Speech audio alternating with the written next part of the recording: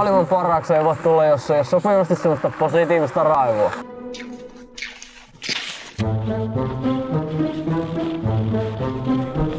Perhana! Hei! Mitä sä tää kävelet keskellä latua? Häh? Vaan sanottavaa tähän näin? Tää on kyllä paljon näitä kulkureittejä joka paikassa. Käsit menemään täältä. Älä sinne niin. Oon tätä kulkuväyliä joka paikassa. Sä täällä ladulla kävelet. Oon olla viimeinen kerta, kun on. Mitään, mitään, mitään. Oon nähnyt ennemminkin täällä kävelemässä ladulla. Mun ladulla. Sä oot tää tiellä muista, kun tuolla yritetään hiihtää.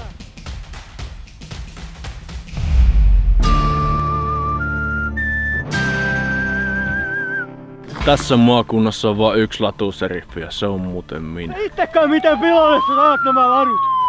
Miksi et mene suksikauppaan oma... Sovitaanko hyvät ihmiset ja teet tänne suksikiukut ja raivoamiset meille kilpahiihtäjille?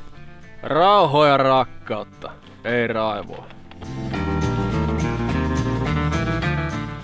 Suomalaisen hiihtourheilun juuret löytyvät Puijolta.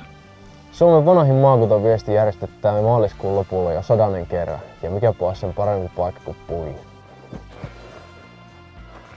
Minä sekä Iivo Henrik Niskanen ollaan paikan päällä. Tule sinäkin, joko hiihtämään tai kahtomaan.